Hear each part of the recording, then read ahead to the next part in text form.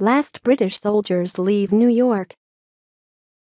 Nearly three months after the Treaty of Paris was signed ending the American Revolution, the last British soldiers withdraw from New York City, their last military position in the United States. After the last Red Coat departed New York, Patriot General George Washington entered the city in triumph to the cheers of New Yorkers. The city was captured by the British in September 1776 and remained in their hands until 1783. Four months after New York was returned to the victorious Patriots, the city was declared to be the capital of the United States. It was the site in 1789 of Washington's inauguration as the first U.S. president and remained the nation's capital until 1790 when Philadelphia became the second capital of the United States under the U.S. Constitution.